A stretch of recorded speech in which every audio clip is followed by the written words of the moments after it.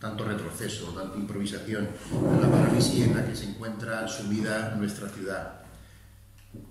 Les pido el voto a la ciudadanía para ese cambio necesario, para ese cambio necesario para tener un futuro. Hay que tener en cuenta que si suman las izquierdas seguiremos igual, no tendremos cambio. Por otro lado, si se digrega el voto en la derecha, sumarán las izquierdas y seguiremos exactamente igual. De ahí que pida ese voto eh, necesario para el cambio. Sabemos qué hacer, sabemos cómo hacerlo, tenemos equipo para ello, sabemos gestionar y nosotros también tenemos buenas personas. Por lo que os pido que votéis al equipo del Partido Popular de Villena. Muchísimas gracias. Buenos días. Reiterar los mensajes de, de Pepe. Creo que la fragmentación del voto eh, ha sido algo bastante, que ha tenido bastante impacto en las elecciones nacionales y autonómicas.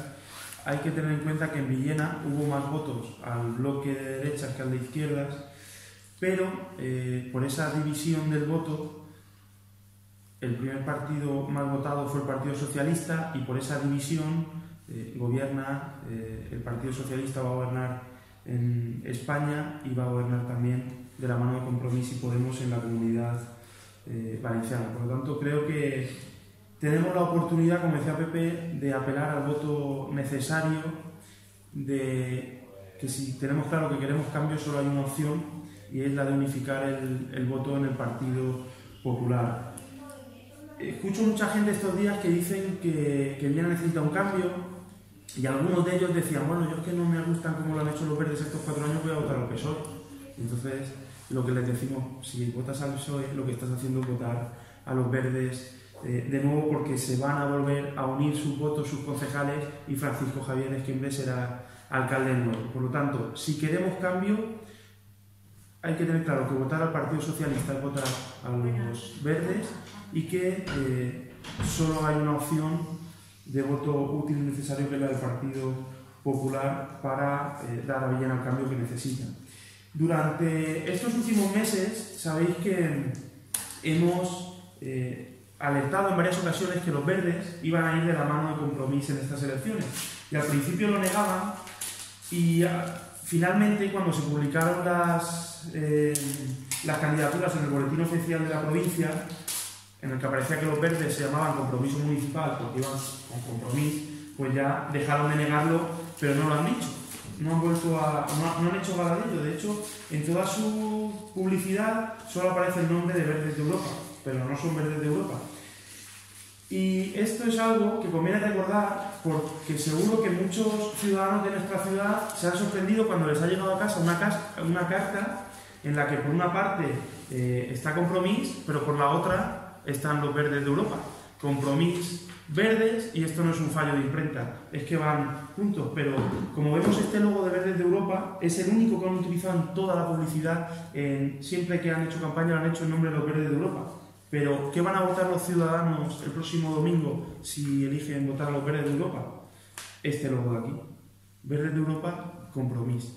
aunque hayan hecho una papeleta pequeña, para que no se, distinga bien, eh, se ve como Verdes de Europa se llama compromiso municipal y el logo no es solo el de Verdes de Europa, sino que también va compromiso. Que como he dicho muchas veces, yo no critico cada uno que se presente eh, en coalición con quien quiera, que se presente con el nombre que quiera, pero que no engañe. Y ya se lo pedimos hace unos meses al alcalde que se presentase con el nombre de Compromiso Municipal, Compromiso Villena. Eh, el nombre sí va en la papeleta, pero no lo está, eh, no está haciendo gala de ello y está induciendo a las personas de nuestra ciudad eh, que voten una cosa que no es realmente la que ellos creen que están votando.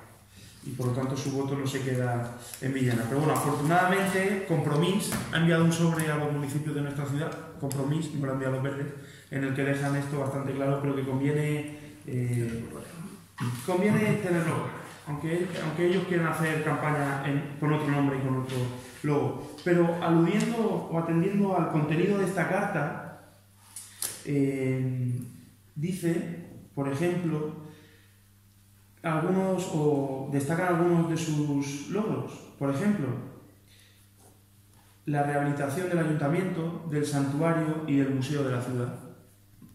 Y creo que son tres obras que no solo no han hecho, sino que ni siquiera han empezado. En una de ellas, la rehabilitación del ayuntamiento, ya nos ha confirmado eh, de forma privada, obviamente eso sí que no saben a decirlo, Cate Hernández, que no van a llegar en el plazo y que se va a perder la subvención que había para este proyecto y por lo tanto pues, habrá que pedir una nueva a ver si, si se llega. El santuario, más de lo mismo, hay que hacer un nuevo proyecto para ampliar las obras y no se ha, no se ha hecho todavía. Y lo del museo de la ciudad, que lo destacan como logró, eh, bueno, no, no, lo voy a calificar, pero la gente creo que todavía no ha, no ha podido visitar el museo precisamente porque no lo han hecho. Entonces no, no entiendo por qué lo destacan como logro algo que no han hecho. En cuanto al santuario, el otro día me decía una persona, dice, claro, claro que lo han arreglado. Y la morenica está en Santiago porque ha querido y no se quiere ir, ¿verdad? Pero bueno, es bastante eh, llamativo. También destacan el parque de bomberos. Y me dice otra persona, bueno, creo que el parque de bomberos sigue estando donde ha estado siempre. Eh, modernización municipal si ni siquiera está puesta en marcha la administración electrónica son muchas cosas, tampoco quiero destacar todo. El otro día, eh, en, uno de esos folletos que van distribuyendo por redes sociales, eh, una de las cosas que aparecía era la dinamización de marca Villena. Digo, es que a mí esto ya directamente me da vergüenza que tengan que llegar a este punto. Cuando hemos denunciado y hemos presentado mociones para precisamente dinamizar y darle sentido a Marca Villena, que lleva más de dos años con un contrato irregular porque se acabó la licitación, se dio contrato en menores y no se ha vuelto a renovar. Entonces, creo que los verdes eh, están demostrando con esta actitud de que necesitan eh, decir que han hecho cosas que realmente no han hecho para intentar rellenar el espacio, porque si tuviésemos que poner los logros de estos últimos ocho años en una hoja, nos bastaría con el reverso de este folio, con todo lo que hay escrito ahí, con una hoja en blanco. Pero bueno, eh, creo que eso demuestra mucho lo que ha sido el resumen de estos últimos años y lo que demuestra es que hace falta un cambio en nuestra ciudad, como bien ha dicho Pepe, y como hemos evidenciado en muchas ocasiones. No tiene sentido tampoco eh, recordar todas las actuaciones. Pero concretando, si queremos ese cambio, solo puede llegar de la mano de Pepe Hernández y solo puede llegar, por lo tanto, si unificamos el voto en el Partido Popular y teniendo claro que si no queremos verdes, no tenemos que votar Partido Socialista, porque al final se van a, se van a juntar y vamos a tener lo mismo de los últimos ocho años. Que ahora parece que es la campaña de las recetas mágicas, para decirnos cómo hacer todo aquello que no han hecho estos últimos ocho años. Porque ahora los verdes cada día dan 10-15 propuestas y está bien que nos están recordando lo que no han hecho. Pero también lo hace el Partido Socialista, es que ha gobernado con ellos los cuatro años anteriores. Es que están diciendo que hay que hacer un montón de cosas en las instalaciones deportivas cuando su candidato ha sido concejal de deportes y no las ha hecho. Pero bueno, cada uno elige o hace la campaña que puede y que quiere. Y paso ya a...